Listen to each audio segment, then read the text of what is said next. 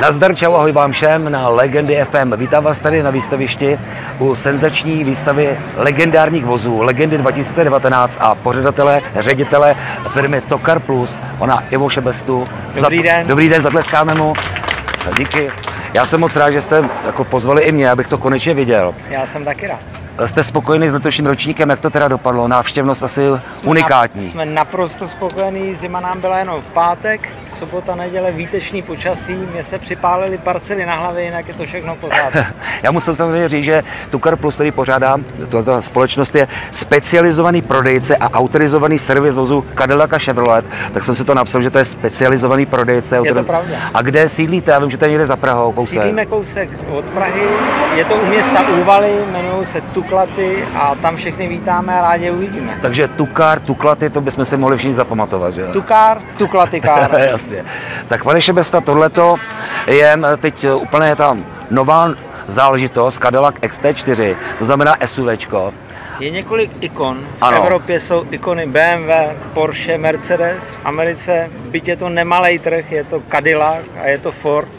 Cadillac v podstatě v tomto roce přišel i se SUVčkem, který je nejenom dostupný všem zákazníkům, ale je to nejmenší SUV Cadillac, který byl představený poprvé v evropské verzi a v České republice je to XT4 model.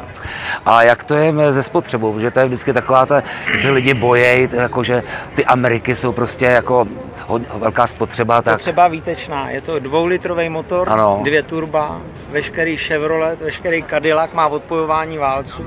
Byť je to v tomto voze použité jenom čtyřválcový motor, tak má dva válce na odpojování. Ano. Když člověk jede ekonomicky, dva válce se vypínají. Spotřeba tohoto vozu je kolem 8,5 litru.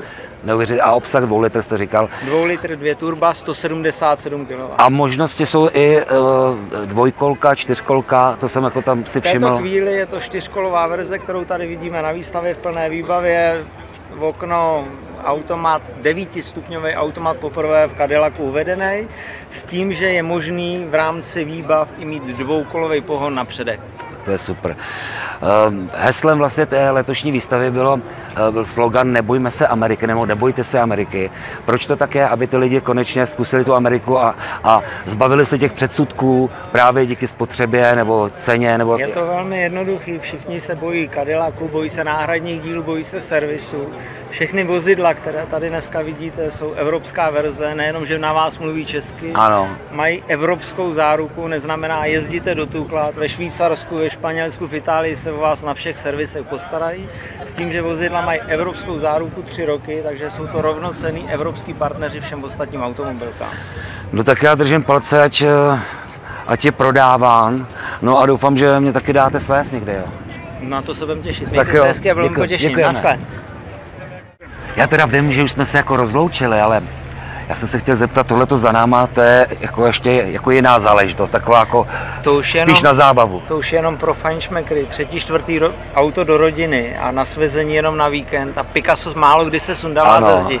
Tohle si ale sundat ze zdi můžete a můžete se svíst. A co to je teda, abych věděl? Je to Camaro, obsah 6.2, v podstatě osmiválcový motor, 430 koní a pojďme si poslechnout tu zábavu, kterou udělá. Tak to si us-.